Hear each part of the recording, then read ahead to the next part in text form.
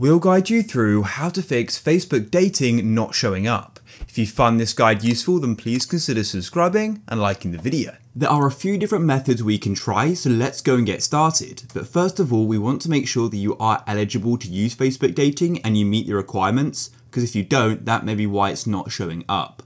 So close out of Facebook, and what you want to do is just go and search Facebook dating requirements.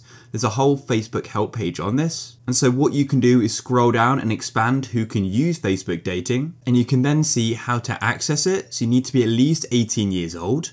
You need to have a Facebook account in good standing that is at least 30 days old, and if you delete your dating profile, you can't make a new one for seven days. And you can then see the countries where dating is available. So as you can see, the United Kingdom is available, so I should be able to access it. So then what we want to do is just go and click on the home page again or come back to Facebook. Now what you want to do is go to the bottom right or top right of Facebook, depending upon where the menu button is and go and click on it. Then go into shortcuts and click on see more and you may see the dating option in here. It may not be in the bar at the bottom, you may find it here. You can click on it and you can then go and get started.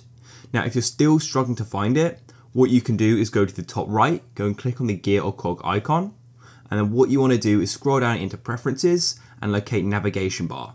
If you're struggling to find it, you can use the search tool in the top right. Click on customize the bar as dating may be hidden or it may just be available. And if that's the case, just go and click on what it is, whether it's auto or hidden. Click on it, click on pin, and it'll go and take a second or two, and it'll then go and add it to a taskbar at the bottom or navigation bar, which will make it super easy to get to, and that'll hopefully go and get it to show.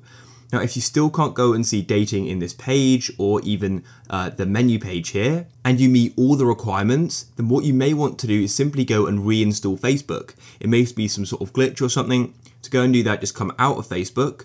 And if you're using an Android, you can completely delete it and reinstall it. But on an iPhone, we can just offload it, which basically keeps all the documents and data to do with Facebook, but just reinstalls the actual Facebook files. To do that, you open your settings and scroll down to general, click on iPhone storage, and then find Facebook, which is just here. Click on it, and you can then click on offload app, click on offload again, it'll take a couple of seconds, and then you can click on reinstall app, and it'll then go and download it again. Go and wait. After it's finished installing, open it up, and hopefully Facebook is now showing. If you found this guide useful, then please consider subscribing and liking the video.